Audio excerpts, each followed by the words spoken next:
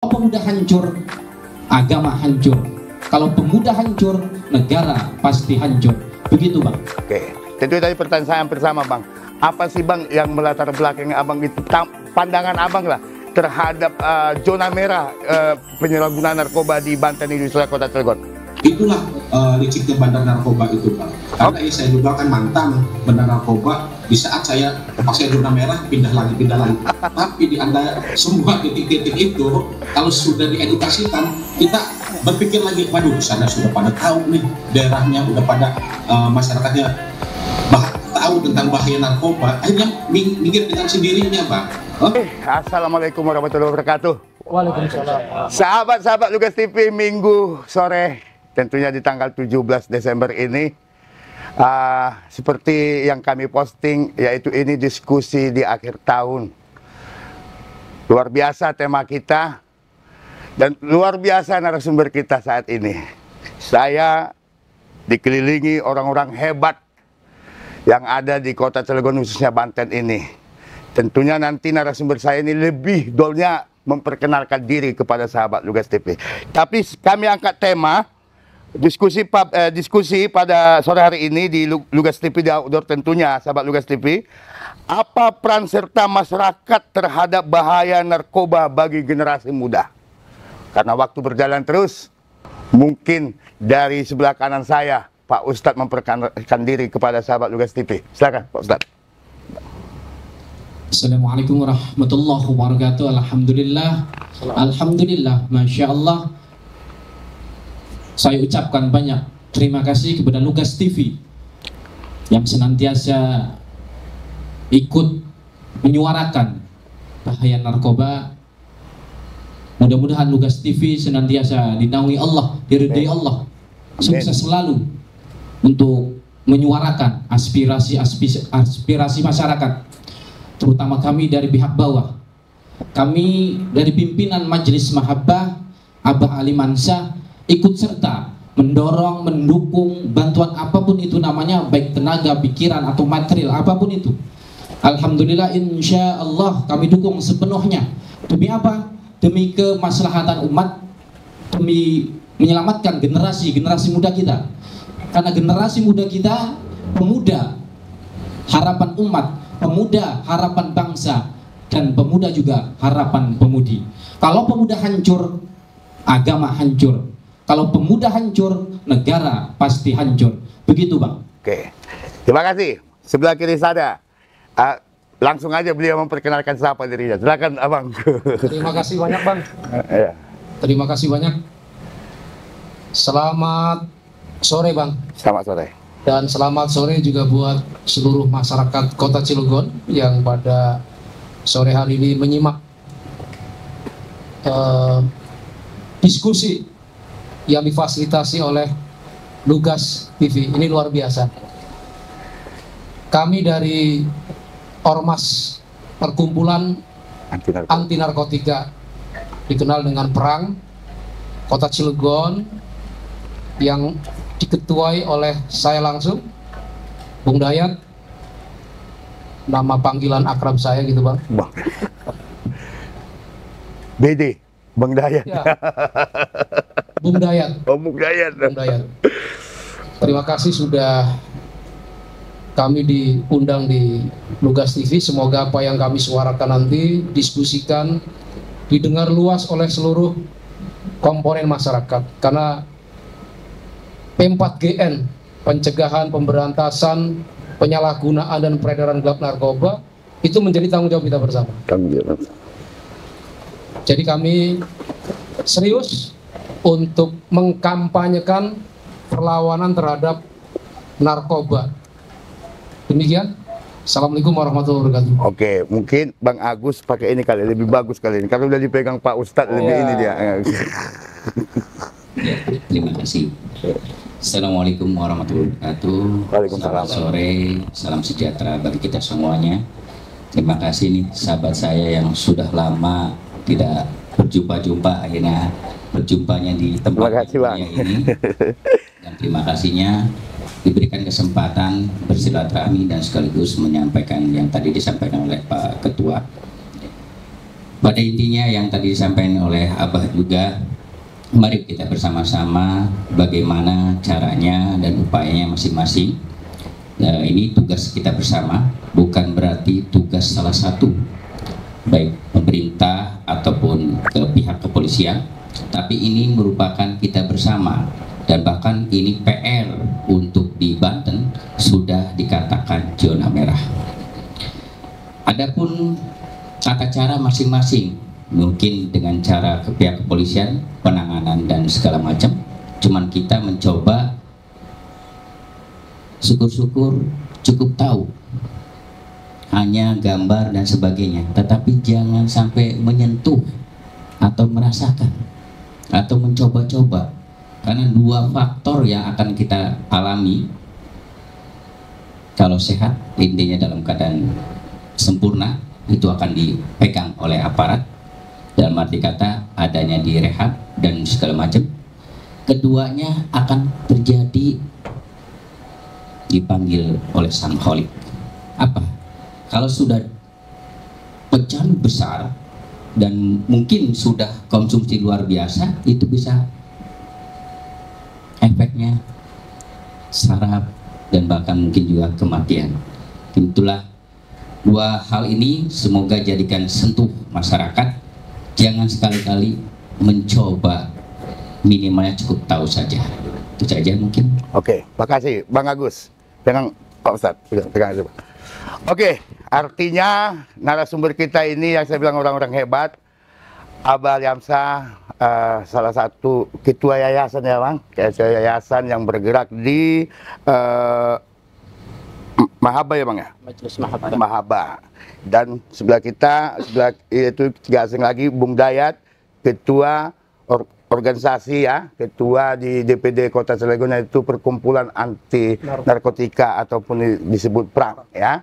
Di sebelahnya tentunya ketua panitia dan juga bagian daripada anggota eh, PRAM. Kalau ada ketua panitia, tentunya ada berkegiatan. Apa nanti kegiatan? Nanti kita tanya-tanya. Tapi sebelum ke sana, ke Abah terlebih dahulu, saya mau meminta tanggapan Abah terkait uh, pandangan Abah tentang penyalahgunaan narkoba yang dikatakan Bang Agus tadi, khususnya di Banten, zona merah Bang. Sedikit aja tapi mantap Abah. Silakan Abah. Assalamualaikum warahmatullahi wabarakatuh.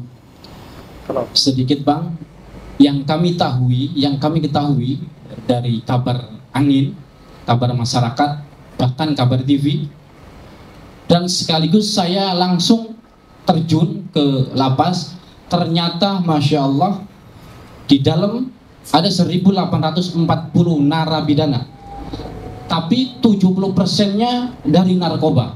Wow.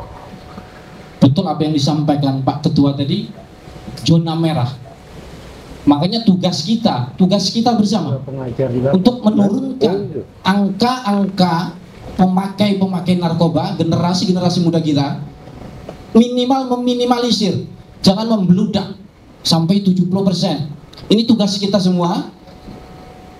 Satu dengan doa siapa mereka? Mereka para ulama. Yang kedua dengan power siapa mereka? Institusi kepolisian. Dan masyarakat minimal minimal amal ma'ruf nahi mungkar. Apa amal ma'ruf nahi mungkar?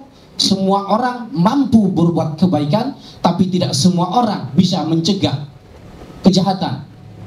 Minimal kalau kita tidak mampu masyarakat kecil tadi ada RT, ada RW, ada kepolisian laporkan kepada RT, RW, kelurahan, kecamatan sampai ke kepolisian. Kalau masyarakat awam, masyarakat kecil tidak mampu untuk mencegahnya. Itu langkah-langkah secara faknya bang Oke, oke. dari kita mungkin doa dari masyarakat kecil kalau nggak mampu langsung mencegah melalui RT, RW, lurah, camat sampai ke institusi kepolisian. Mungkin insya Allah dengan cara masing-masing kita bergerak, insya Allah akan meminimalisir pemakaian narkoba tersebut. Oke, Gitu, Bang. mungkin lanjut dulu nanti ke abang. Lalu yayasan Abah sendiri sejauh ini sudah apa yang dilakukan terhadap hal-hal eh, eh, penyalahgunaan narkoba ini? Saya dengar-dengar sebagai pengajar di lapas. Bi- Bisa disampaikan ke sahabat Lukas TV? Iya betul bang. Kami s- dari Majelis Mahabbah dari 2018 Oh, jadwalnya dulu Senin sampai Jumat Sebelum pandemik ya? sebelum pandemi. Oh. Bahkan 2018 sampai sekarang dan sekarang cuma hari Rabu dan Sabtu. Kami rutin mengajar di lapas dari jam 9 pagi sampai jam 10. Oke. Itu kegiatan kami sebagai Majelis Mahaba untuk mengasih apa? siraman rohani, untuk mengasih support kepada mereka-mereka pengguna narkoba untuk tidak pernah putus asa. Narkoba musuh kami, tapi penggunanya adalah teman kami. Oke. Wah, luar Bahkan- biasa. Terima kasih. Bahkan kami punya- Narkoba musuh kami, tapi penggunaan teman kami. Teman kami. Oh, luar biasa ini segmen. Ya, sehingga saya sering bicara di dalam lapas, andai kata umpama misalnya kalian keluar tidak diterima oleh masyarakat, kami Majelis Mahaba siap menampung. Oh, luar biasa. Oke, terima kasih Bang. Ah, bang, selaku Ketua DPD Perang eh, di Kota Cilegon, Bang. Ah, tentu tadi pertanyaan saya hampir sama, Bang. Apa sih, Bang, yang melatar belakangi Abang itu, tam- pandangan Abang lah, terhadap ah, zona merah eh, penyalahgunaan narkoba di Banten di seluruh Kota Cilegon? Ya Bang, jadi memang kami menginginkan sesuai dengan jargon yang diluncurkan bahwa Cilegon bersinar, bersih dari narkoba. Dan kami juga mengapresiasi upaya-upaya kepolisian yang sering melakukan penggerbekan, penangkapan. Artinya bahwa masih terdapat banyak sekali peredaran-peredaran narkoba di sekitar kita atas dasar apa yang disampaikan oleh Abah Aliman selaku pengajar dan pimpinan majelis di sana tahu kondisinya betapa banyaknya dan bisa jadi korban kor- korban narkoba yang ada di rumah sakit di tempat rehabilitasi dan bisa jadi banyak yang juga sudah is dead meninggal dunia overdosis dan sebagainya. Nah kami masyarakat ingin mengkampanyekan bang Ya. perlawanan terhadap narkoba ini bukan hanya kita saja. Kita ingin mengkampanyekan setiap orang punya kewajiban amar ma'ruf wabil khususnya nahi mungkarnya. Jadi kita ingin mengkampanyekan bahwa Cilegon khususnya sudah masuk kategori zona merah di Banten. Jangan tinggal diam.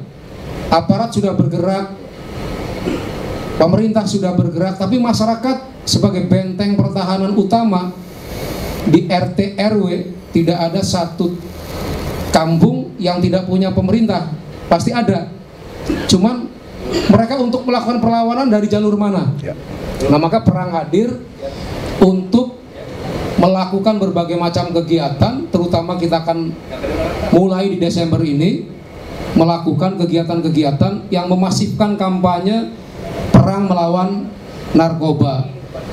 Korbannya adalah teman kami tapi narkobanya pengedarnya gembongnya dan sebagainya adalah musuh kami jadi mudah-mudahan melalui kegiatan yang masif nanti kami akan lakukan baik di lapas kita akan berkunjung bang bakti sosial bentuk kepedulian dan juga testimoni-testimoni bangkit dari apa namanya belenggu narkoba Oh. jadi kita akan hadirkan narasumber pelaku gembong besar yang sekarang sudah Taubat lah bahasanya. tobat Oh, dan bangkit dari Oke. cengkrama narkoba sekarang dulu jual sabu, jual narkoba sekarang sudah jual usaha-usaha kecil-kecilan yang me- membuat apa namanya perekonomian keluarga menjadi lancar tanpa narkoba. Artinya waktu dia gembong atau bos bandar pendapatannya berlimpah. Luar biasa. Saat ini hanya jual tahu tempe lah bahasanya, Betul. tapi dinikmatin begitu bahagia.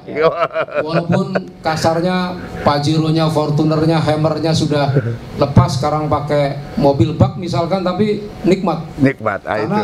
Itu yang dikampanyekan. Kita akan kampanyekan bahwa setiap kita, terutama keluarga, agar menjadi benteng perlawanan terhadap narkoba. Pastikan anaknya kita cegah dengan peduli terhadap keluarga masing-masing. Perhatikan aktivitas sehari-harinya.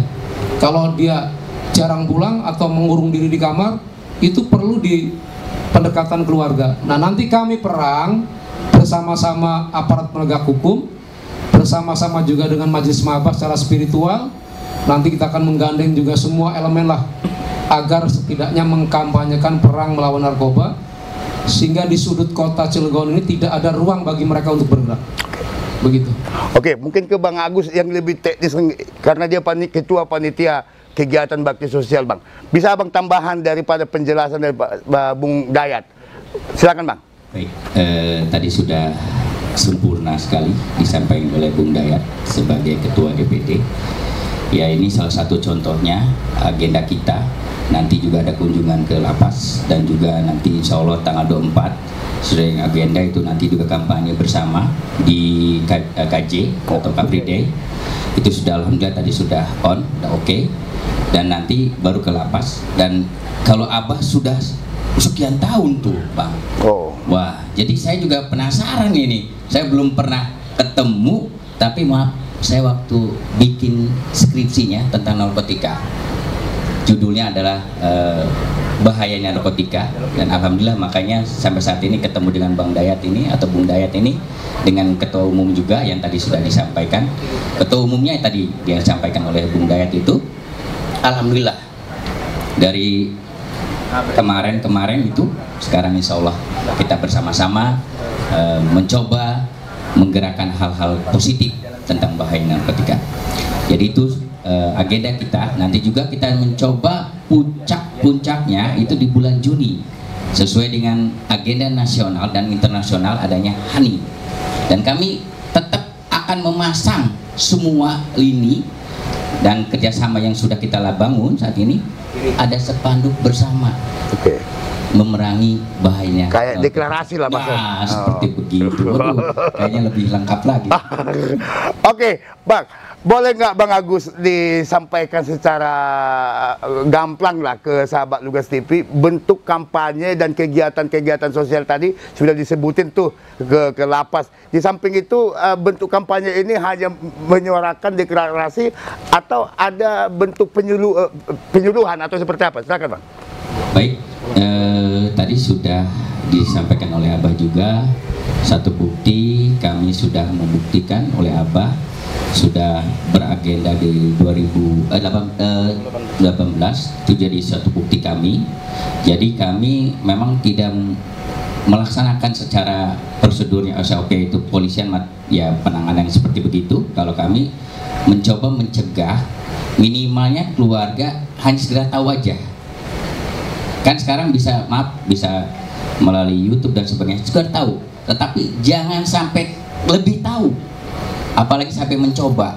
Itu. Minimal dengan cara begitu keluarga terselamatkan. Apa yang tadi disampaikan oleh Bung Dayat juga ini bukan PR-nya kita bertiga ini yang saat ini. Dan ditambah lagi ini seribu jemaah yang sudah hadir. Ini bukan kita tugasnya semuanya. RT kalau ada yang lihat ayo bareng-bareng Itu jangan sampai ya menang-menang baik jadi bahasan kayak ini mah jadi itulah akan terus bertambah lagi maka tadi abang mengatakan sekarang udah sekian mau 2000 jemaah yang ada di lapas masa bertambah lagi kan 1800 Over, ya. gitu. Oke, ah, sahabat Lukas menarik ya. Eh, ternyata teman-teman kita dari perang eh, DPD Perang Kota Cilegon ini, ini harus eh, kita banggakan. Artinya kita dukung, kita support. Ya, saya mau bertanya ke Abah dari sisi eh, tokoh masyarakat ataupun tokoh agama. Dari peran daripada eh, teman-teman kita ini, mungkin Abah bisa minta tanggapan terkait kegiatan yang akan dilakukan teman-teman eh, apa, D- DPD Perang. Silakan. Baik Bang, awalnya awalnya kita berangkat dari Bismillah dan insya Allah kita pulang dengan Innalillah. Ya. Terbentuknya perang dan terbentuknya acara ini diawali di Majelis Mahabbah. Oh, Masya Allah, Ketua DPD Perang Kota Cilegon, Bung Dayat, ngobrol empat mata. Ketika waktu itu, Abah bilang, uh Pak Kabit, Bung Dayat, kalau hari Rabu dan Sabtu, Abang ngajar di lapas. Oh, Abang ngajar di lapas juga, kata beliau. Iya, kalau begitu kita bentuk acara, bikin acara, dan Alhamdulillah ada di majelis Bang, yang nanti tanggal 17 Januari kita bisa membagi sedikitnya dari apa namanya buat para korban-korban narkoba di lapas. Insya Allah ada sedikit dari kami dari perang memberi ala kadarnya semacam perlengkapan. perlengkapan mandi. Kayak sabun, odol, sampo dan lain sebagainya.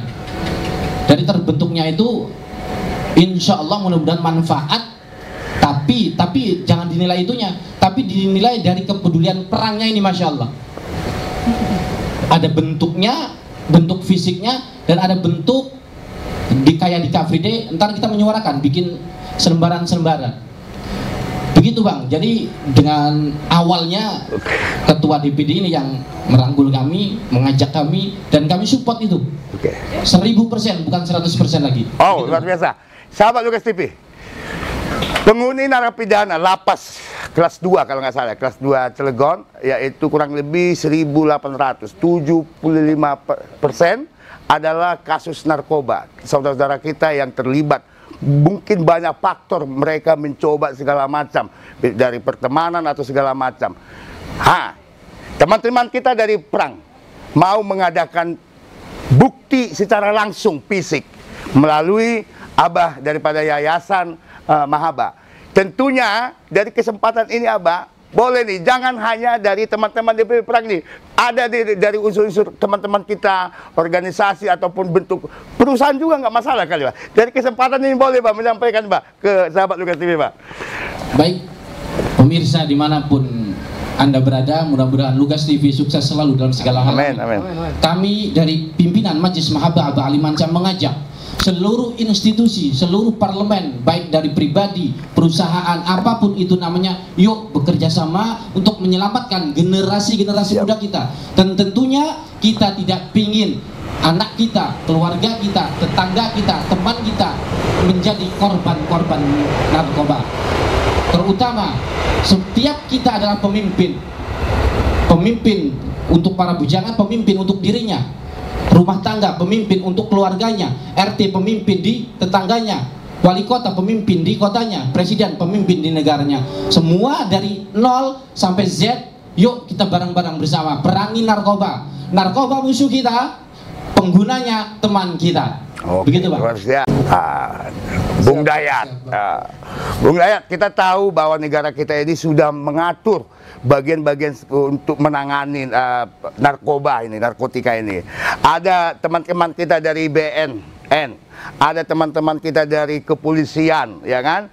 Pandangan ah, Abang sebagai organisasi masyarakat dari Perang Indonesia. Bagaimana up- cara atau ba- bagaimana yang sudah dilakukan teman-teman kita dari pemerintah sudah maksimalkah mereka bekerja? Silakan, Bang.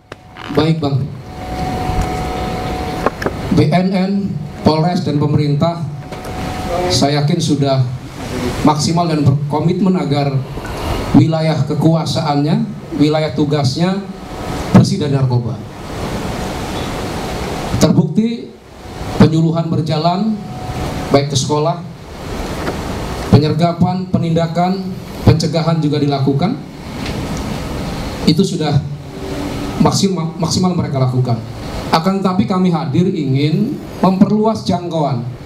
Makanya perang akan roadshow mengajak semua pihak hari ini dengan Majelis Mahabah, dulu dengan Majelis Zikir Nurul Hikmah, terus ketemu juga dengan sahabat saya yang konsen skripsinya di eh, soal narkotika. Beliau ketua yayasan Cahaya Rumah Sedekah. Dan kita juga tidak menutup kemungkinan ke semua elemen yang peduli. Industri, pimpinan-pimpinan pondok pesantren karena perlawanan narkoba ini harus kita mulai dari benteng pertahanan utama lingkungan masyarakat, lingkungan keluarga supaya tidak ada celah. Lalu yang kedua, Bang, mereka para korban ini kan punya masa depan. Punya masa depan walaupun mereka dalam pembinaan dan hukuman. Karena korban. Kami berharap dengan hadir di lapas, bekerja sama dengan lapas dan alhamdulillah beliau kalapas beserta jajarannya terbuka karena sama-sama punya tujuan yang sama. Kami ingin peduli mereka biar bersih. Kita kasih perlengkapan mandi, alhamdulillah banyak yang support dari perusahaan, dari individu. Agar apa? Agar mereka korban-korban ini punya masa depan. Kalau fisiknya tidak terurus, ya bagaimana mereka punya masa depan di dalam sudah ruwet tidak terurus. Nah ini satu contoh konkret saja bahwa kami ingin berbagi dengan mereka. Alhamdulillah ternyata kalau niat kita baik nih, bang, banyak sekali yang bantu. Saya bantu apa, saya bantu apa, tapi kita memang tidak keluar dari konteks. Karena kebutuhan di lapas tidak lebih dari itu, ya nggak boleh kita bantu rokok, nggak Ya, boleh kita ya, bantu. ya, ya. Tapi kalau alat kebersihan, ya kita bantu supaya karena saya dengar kabar berebut bang untuk kebutuhan-kebutuhan sehari-hari. Nah, kita ingin berpartisipasi. Nah, nanti juga kita bawa eh, BNN untuk penyuluhan ke sekolah-sekolah. Ke lapas juga ketua umum langsung yang testimoni lepas dari jeratan narkoba itu seperti apa, bangkitnya seperti apa. Artinya bukan secara material saja kita bawa memberikan dukungan bantuan, tapi secara moral juga kita berikan nanti. Nah, terutama nanti ke depan kita memang melalui pemerintah untuk di kecamatan, di kelurahan yang kalau setahu saya ada kegiatan, ada program eh, bersinar, Ya. ber- kelurahan bersinar, bersih dari narkoba. Ini jangan sampai hanya seremonial, Bang Ya. Kita betul-betul harus tepat sasaran. Anggaran yang dikeluarkan untuk mengkampanyekan itu betul-betul ada hasil. Makanya judul kami sebetulnya adalah kampanye akbar perang melawan narkoba. Banyak orang yang sedang kampanye nih bang Ya. untuk dirinya berkuasa Ya. di parlemen, Dapat kursi panas. dapat kursi. Empuk ya. Kami sadar bahwa kampanye itu untuk pribadi. Ya. Makanya kita ingin kampanye melawan narkoba untuk generasi penerus bangsa ini.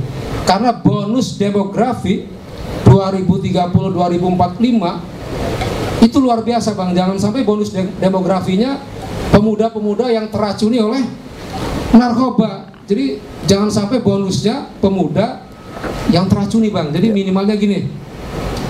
Oke lah sekarang banyak korban, banyak pelaku. Kita mulai pelan-pelan stop. Di lapas itu tidak ada lagi penambahan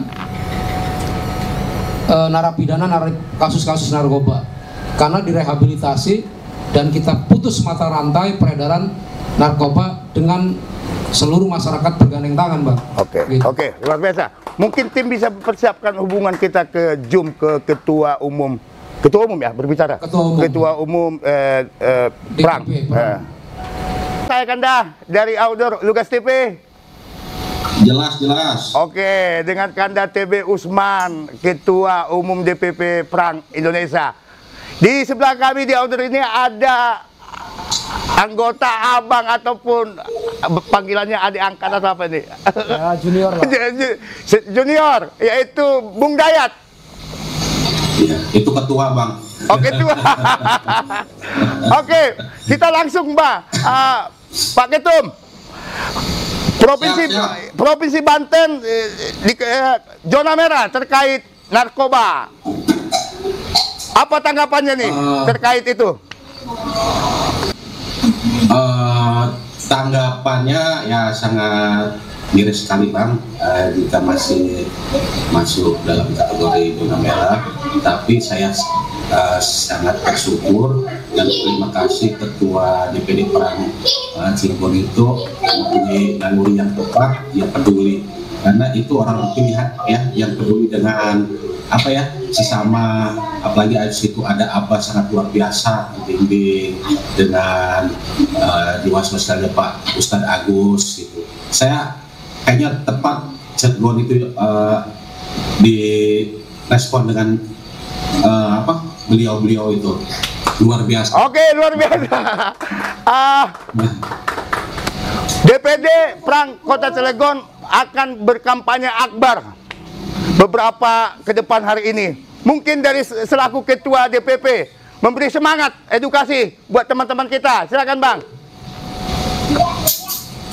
selalu bang Ya. apalagi eh, sudah bertahun berkali-kali membuat eh, event ataupun eh, acara edukasi tentang bahaya narkoba apalagi eh, saya saya sangat setuju, sangat luar biasa. Apalagi didampingi dengan Abah itu kayak nyaklok banget gitu ya, luar biasa itu. Karena eh, pokoknya Insya Allah berjalan dengan lancar, ditambah Amin, amin. dengan didukung eh, media Abang ini yang viral di kota Cilegon ini. Amin. Oke, mungkin Bang ada tahu. Assalamualaikum, Ketum. Waalaikumsalam warahmatullahi wabarakatuh. Siap ketua. Salam hormat buat Ketum. Terima kasih atas dukungannya. Kami akan kampanye akbar secara masif dan tidak akan berhenti di satu kegiatan saja. Medianya melalui sosialisasi ke sekolah, melalui kunjungan ke lapas, edukasi ke keluarga. Nanti kita kerjasama dengan lurah dan camat agar ke majlis-majlis taklim di masjid-masjid juga sudah harus mulai disuarakan.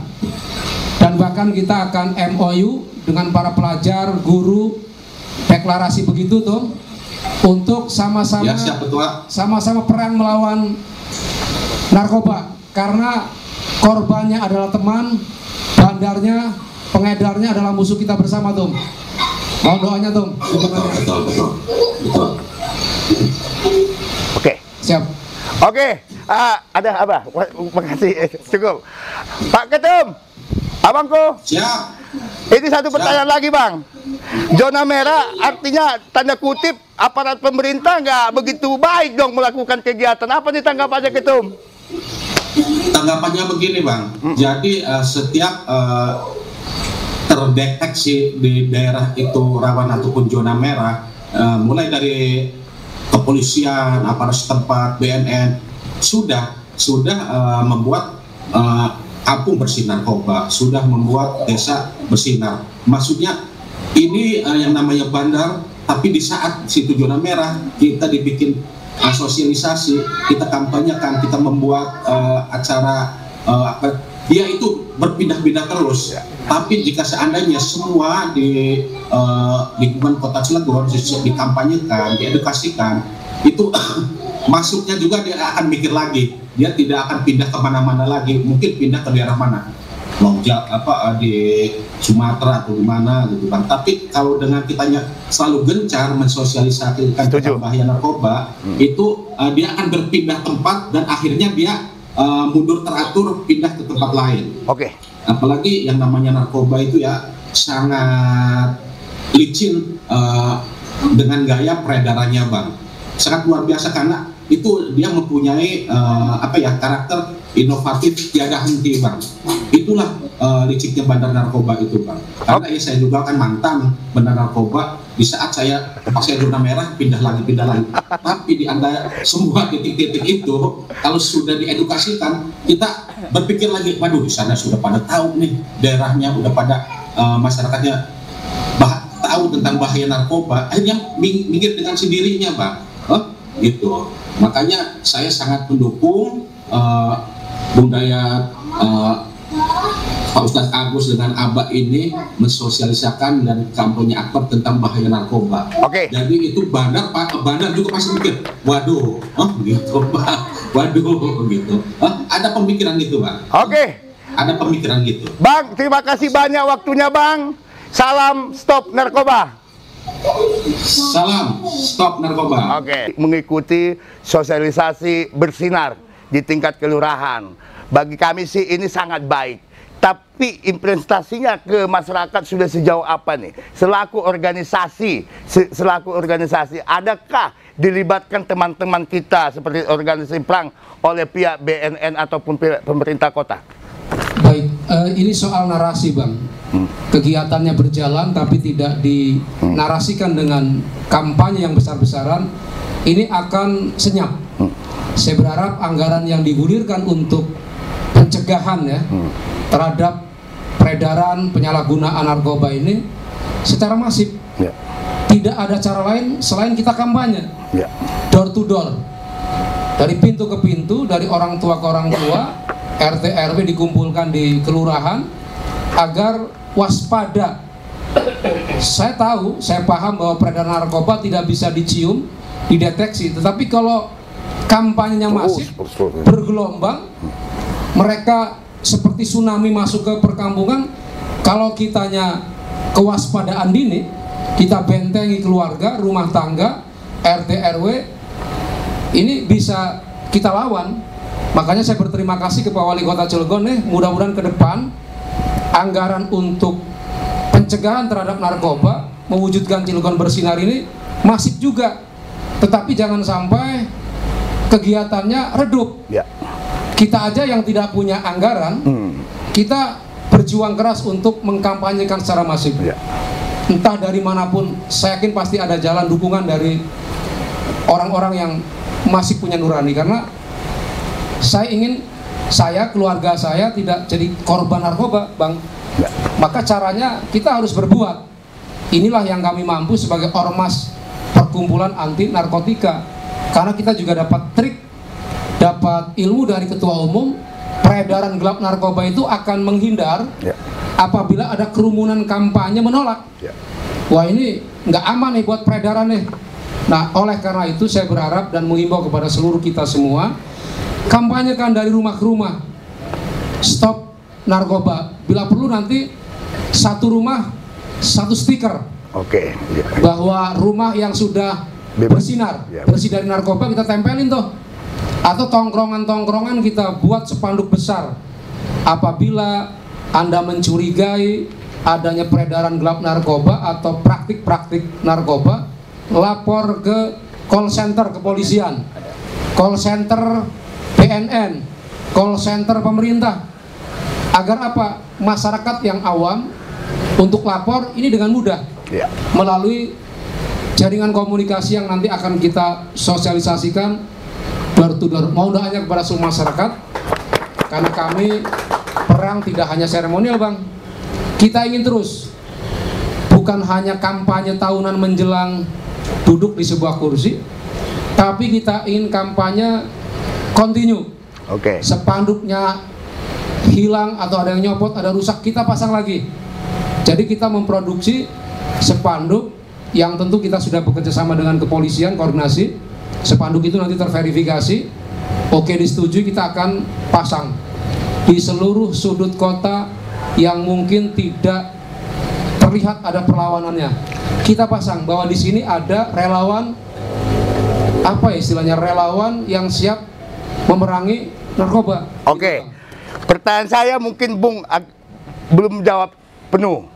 Siap. Apakah sejauh ini teman-teman kita dari perang ada upaya digandeng oleh pemerintah Kota Cilegon melibatkan eh, kampanye ini? Eh, ketum tadi sudah sampaikan bahwa Cilegon termasuk aktif. Kita juga pernah jadi narasumber di Kelurahan Kota Bumi saat itu lurahnya sahabat saya dari Sekjen KNPI dulu Bung Muhriji. Jadi ketum yang jadi narasumber. Oke. Nah, saya berharap 43 kelurahan di samping menggandeng BNN juga gandeng kami ormas. Iya. Untuk apa?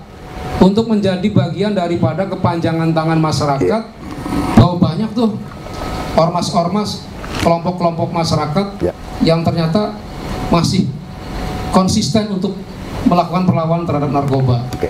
Jadi konsistensi inilah yang akan kami kampanyekan bahwa kami masyarakat Kota Cilegon seluruh lapisan menolak dan menjadikan narkoba musuh bersama gitu. Oke, luar biasa. Oke.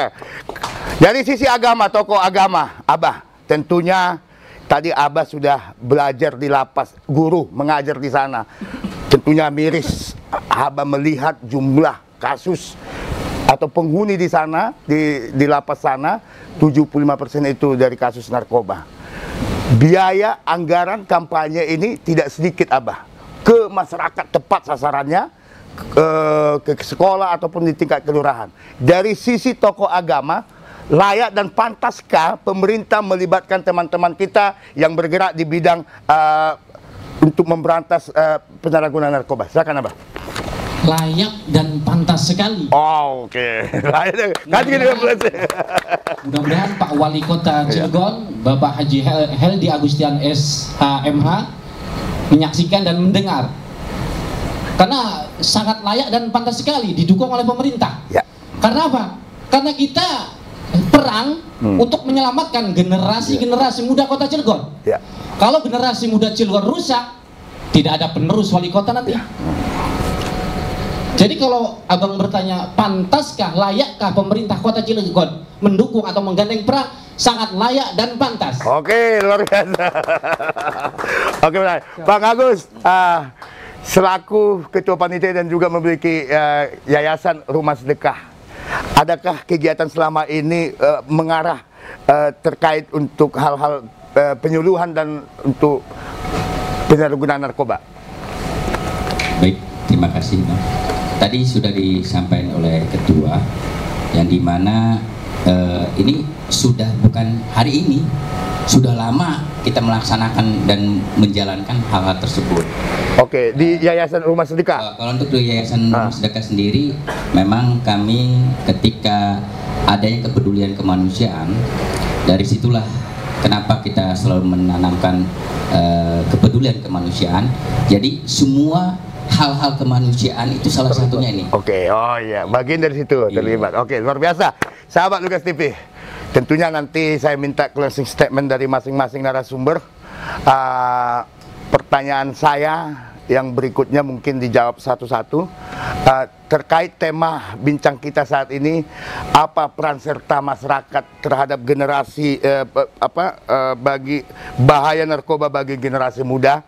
Mungkin ah, ah, Abah yang pertama, apa nih Abah? Harapan kepada masyarakat nih terkait tema kita ini supaya eh, seperti apa? Silakan Abah. Baik sahabat Lukas TV yang diberkahi Allah. Kami mengutip dari syair Bang Haji Roma Irama. Inti ini support untuk para pengguna narkoba. Dulu aku suka padamu, dulu aku memang suka. Dulu aku gila padamu, dulu aku memang gila. Sekarang tak tak tak aku tak mau tak mau tak. Sekarang tak sudi tak. Jadi intinya bagi mereka pengguna narkoba, dulu kami suka narkoba, dulu kami gila narkoba, tapi sekarang Tak lagi tak. tak lagi tak lagi tak. Oke, silakan menghafal lirik lagu itu gitu ya, disarankan seperti Ya, itu. disarankan. Lagu itu dipahami, disarankan, oh masya Allah, maknanya luar biasa lagu itu. Oke. Itu jadi wirid rutin para korban narkoba. Oh iya. silakan, Pak. Eh, baik, terkait tema kita ya, Bang ya. Hmm. Eh, saya perang bukan siapa-siapa tanpa dukungan semua pihak. Alhamdulillah perusahaan beberapa dan juga pemerintah kita sudah dengan aparat penegak hukum sudah koordinasi didukung penuh dan bahkan dengan pengurus pawon ya yang di Car Free Day juga didukung untuk berkegiatan di sana mengkampanyekan bahaya narkoba dan dengan pihak sekolah juga kita akan terus berkoordinasi Disnet Band selaku bandnya Pertuni, Tunanetra, ya. Pertuni juga sudah bicara dan mendukung artinya mereka-mereka saja yang punya keterbatasan Iya. mau mendukung saya Wow, luar biasa nih. karena kami ini bukan siapa-siapa tidak mungkin kami memberantas narkoba secara sendirian mari kita bergandeng tangan untuk kampanye ini terus menggelinding di tengah-tengah masyarakat Iya. kampanye tidak boleh henti. Tidak boleh ada periodisasi kampanye. Tiap hari kita kampanye. Kita duduk di warung kopi ketemu siapa pun pastikan jangan pakai narkoba. Oke, luar di biasa. keluarga kita sambil di meja makan pastikan anak-anak kita tidak pakai narkoba. Dengan siapa pun di kantor di mana pun kita kampanyekan narkoba. Dan apabila ada indikasi sudah masuk itu narkoba konfirmasi kepada aparat kepolisian untuk ditindak peredarannya untuk diselamatkan korbannya Oke. karena sekali lagi korban adalah teman kami, pengedar gembong adalah musuh kami. Ah, Bung Dayat, mungkin kampanye tidak ada masa tenang di bu- bagi ini ya. Kalau yang ini kan ada masa tenangnya. Kalau ini nggak ada masa tenang. kita harus hari harus ramai lah.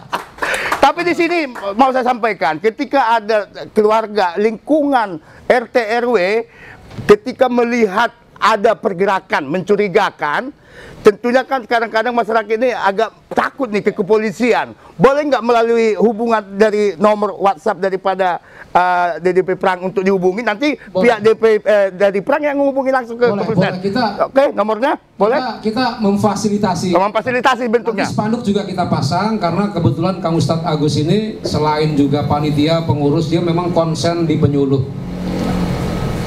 Di dalam hal-hal lain juga dia penyuluh rumah tangga dan sebagainya. Nah itu bisa masuk nanti ruangnya Ya.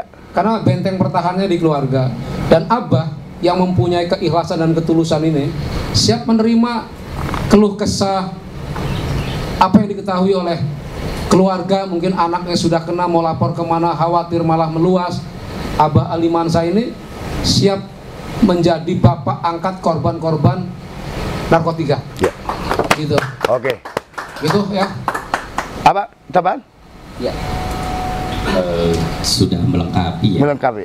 Cuman kalau saya secara pribadi dan dari Yayasan Cair Sedekah, walaupun baru sedikit niat, tapi sudah diaminkan oleh Abah juga dan semoga ini ke depannya Cair Sedekah akan ada rumah singgah Oh, sehingga. Oke. dan di situ mencoba seperti Abah juga jadi Abah tetap dengan secara tadi itu dengan cara keagamaan dan sebagainya. ambulan juga ya? Ya insya Allah juga ada rencana ambulan. Dan di situ kita kalau yang tadi yang dikatakan Pak Ketua sudah jelas. Baik gembong pengedar dan sebagainya adalah.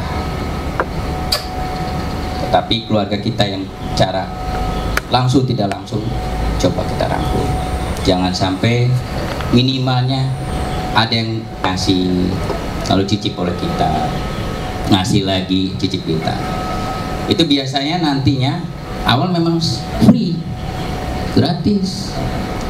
Udah gratis. Udah ketagihan? Ketagihan. Nyongkel yang di rumahnya seribu dua ribu. Kalau udah masuk kecanduan. ya Oke, kata-kata dulu. itulah makanya eh, insya Allah ya tadi sudah disampaikan oleh Pak Ketua Bung Dayat memang ini yang utama faktor keluarga. Mari kita bersama-sama. Walaupun tadi itu sudah jelas musuh kita adalah bandar dan sebagainya. Tapi keluarga jangan jadi musuh. Dan juga saya terima kasih Abah.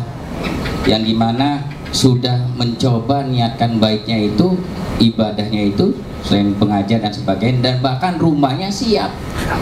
Ketika teman-teman kita memang benar sering kali ketika di X-nya di masyarakat sering kali dikatakan musuh lagi. Tapi tidak pernah dirangkul tidak pernah diajak jadi musuh. Hanya kembali ya narkoba. Itu sering kali cobalah alangkah baiknya kita ajak silaturahmi rangkul jangan sampai terjadi lagi kembali lagi. Itu saja dari kami. Saya Mustaka demi kemanusiaan ke siapa pun kami tetap akan merangkul Oke, terima kasih. Sebelum ditutup Pak Blangkon, Intisari. Ah, kepedulian daripada bahaya narkoba bagi generasi muda, termasuk Provinsi Banten sudah zona merah. Saya dapat informasi juga tokoh masyarakat Provinsi Banten Haji Embai yang juga akan mengibahkan sebidang tanah untuk bangunan rehab. Tentunya ini harus kita apresiasi supaya ini terjadi nanti, terlaksana dan tentunya teman-teman dari tokoh masyarakat, dari tokoh agama, dari teman-teman dari perang akan aktif di sana. Dan juga kepada semua masyarakat lapisan paling eh, bawah, kita harus mengenal bagaimana eh, pemetaan, pemetaan yaitu di mana sih eh, tempat-tempat diduga eh, ada peredaran di sana. Mungkin kita bisa melihat rumah bedeng-bedeng yang banyak, di situ juga kemungkinan ya tempat-tempat hiburan ya.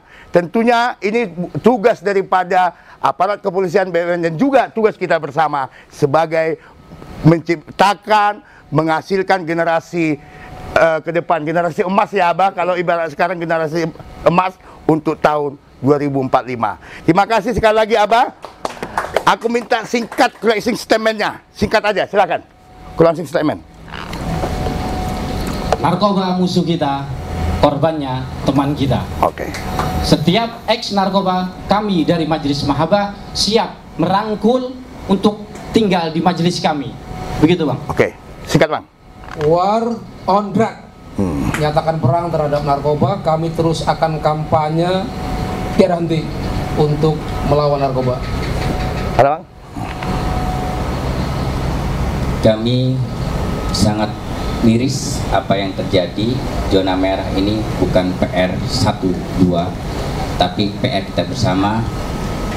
Mari kita bersama-sama memerangi narkotika walaupun sudah jelas gembong dan sebagainya adalah musuh tetapi yang jadi korban merupakan adalah keluarga kita dan jadikan silaturahmi kita kita rangkul dan kita selalu cintai mereka. Oke, luar biasa. Sahabat Lukas TV, demikian yang bisa kami sampaikan. Nanti ditutup Pak Blangkon.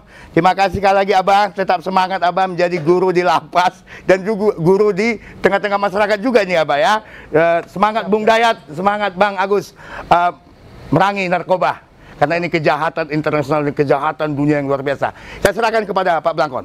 Baik, terima kasih Bang Maria Sinaga.